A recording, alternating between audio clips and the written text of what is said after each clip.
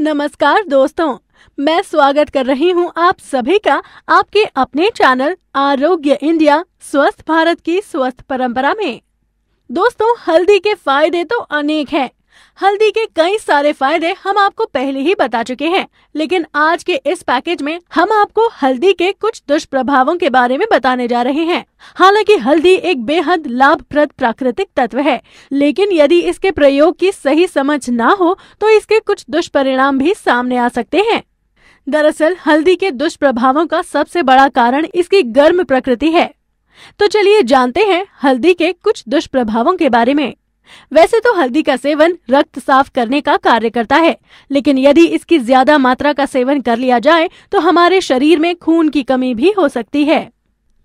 हल्दी के सेवन से पेट की गर्मी, गैस, मतली, चक्कर आना और दस्त लग जाना जैसी समस्याएँ पैदा हो सकती हैं।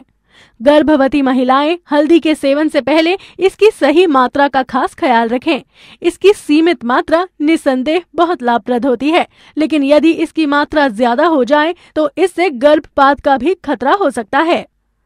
सामान्य तौर पर भी ये लड़कियों और महिलाओं में माहवारी को बढ़ावा देने का कार्य करती है। पित्ताशय की पथरी एवं पित्त की रुकावट के मरीजों को हल्दी का प्रयोग नहीं करना चाहिए। हल्दी रक्त के थक्के बनने की प्रक्रिया को धीमा कर देती है।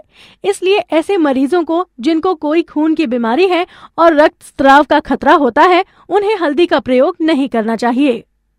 करक्यूमिन हल्दी में पाया जाने वाला एक रसायन होता है, जो मधुमेह के रोगियों में रक्त शर्करा को कम कर सकता है। इसलिए मधुमेह के रोगियों को हल्दी का प्रयोग बहुत सावधानी से करना चाहिए।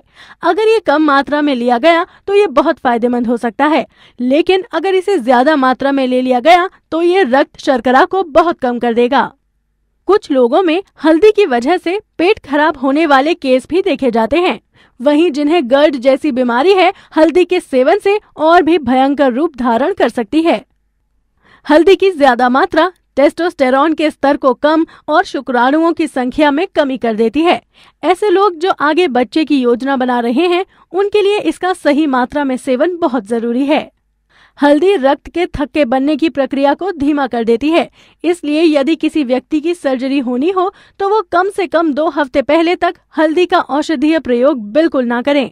नहीं तो ये सर्जरी के दौरान या उसके बाद अतिरिक्त रक्त स्राव का कारण भी बन सकती है।